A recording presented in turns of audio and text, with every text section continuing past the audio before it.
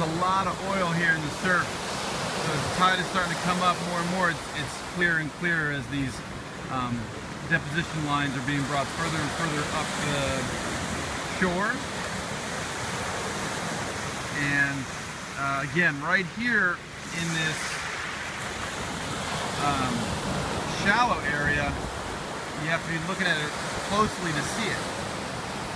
In the cobbly rocky area, that's where you're going to get the really strong uh, lines that persist and, and the rocks will hold that oil much more clearly and that's what causes the appearance of oiling from um, a farther distance compared to if we just had a sand beach.